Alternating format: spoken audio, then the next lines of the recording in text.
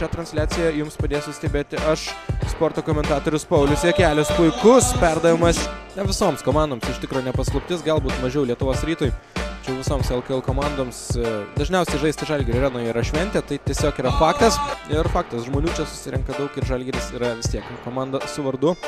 O čia viską puikiai atlieka Viskontas. Jis labai staigiai moka išmesti iš už užtvaros kamuolį. Čia kokia klaida. Artūras Milaknis perimo kamuolį ir iš viršaus. Ir mažo to paskui dar pražanga prieš kupšą ir kamuolį turi Žalgiris. Tiesa neilgam. Stonionis savo laikį perdavimą atlieka Kulviečiui. Kulvietis iš viršaus. Tačiau, na, aišku, jei pavyktų įveikti Žalgirį, tai būtų toks kaip ir tai būtų tokia ekstra pergalė. Bet realiai tu puikiai supranta, čia Kulvietis, tu vėlgi Juventus ekipa bent jau po truputį mažina atsilikimą. Matulis puikiai žaidžia.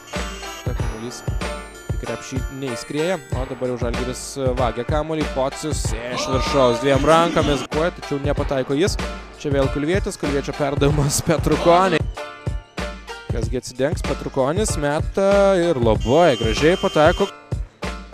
Čia Dimša klysta ir Stanionis turi pelnyti taškus iš po krepšio.